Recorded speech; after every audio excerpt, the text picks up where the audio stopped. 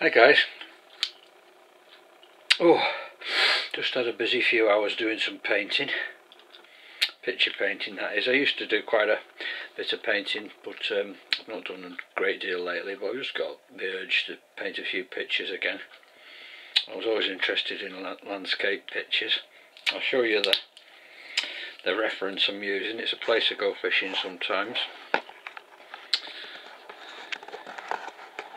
That's the um, that's the River Hodder. That's a photograph I took a long time ago. Well, not that long ago, but three or four years ago maybe. And, and what I'm doing at the moment is I'm just uh, I'm just dabbling along with me oil paints, and this is how far I've got at the moment.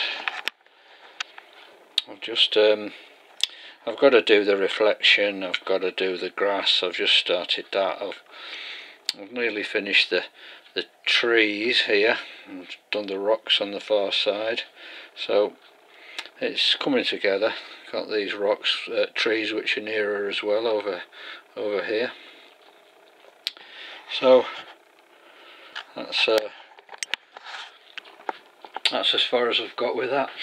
So I just thought I, I deserve a bit of a break now so I've got the old uh, Algerian French French Algerian briar here and got myself some some lovely condor so I shall be having a little rest and enjoying that. Hope you're having a good day anyway. It's a bit better today. We've got the um, the birds are feeding. So I'll see you soon guys and thanks for watching